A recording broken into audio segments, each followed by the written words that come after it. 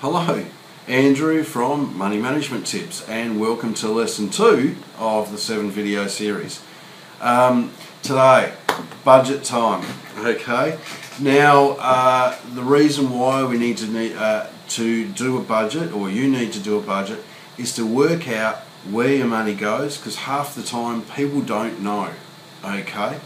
So if we uh, down below, uh, there'll be a download link for an Excel file and or a Google Documents file where and there'll be another instructional video on and it'll work you through step by step on how to how to complete that uh, spreadsheet and get the number at the bottom okay? Uh, now and with with that we can then project your current situation forward in time to see where you will work uh, you will end up uh, in the future unless you get your finances in order. Uh, it, it, may be a good thing, you might be heading in the right direction, but at least you'll know, okay? Uh, so enjoy, be honest, okay?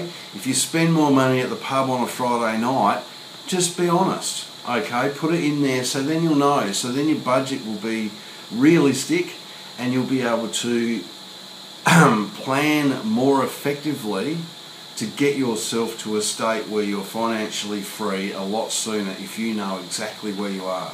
Now, if you don't know where you are, spend a few days, take notes of what you actually spend money on. Like if you spend money on uh, coffee on the way to work, or you buy, uh, you know, a spring roll and, and two sandwiches for lunch every day, whereas, you know, at least you'll know exactly where you are and then you'll know where you can get your investment money from and, and go from there. So, uh, quick short video today, but there's a longer, more in depth one below.